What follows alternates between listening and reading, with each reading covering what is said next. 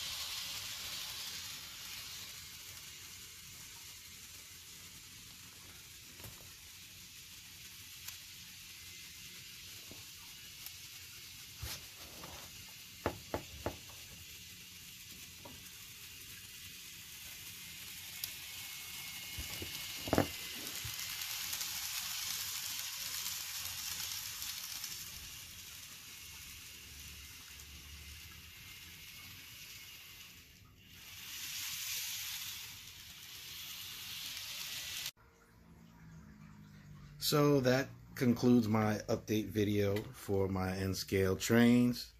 I hope you enjoyed the little run around. It wasn't long, but hopefully later on to come, my videos will be a little more professional and a little uh, longer. I'm going to play with them some more. Uh, but before I do that, uh, I'm going to probably take the cars. I managed to grab some lighting, some car body lighting for some of the rolling stock on my trains. I got that while I was out at uh at the Greenberg Train Show from a good guy. I tend to get most of my stuff from him. Bernie over at National Capital Trains. Look him up if you need your N scale layout to get a little bigger to get some supplies. I also got a few things from some guys at Yankee Dabbler. They were also at the train show.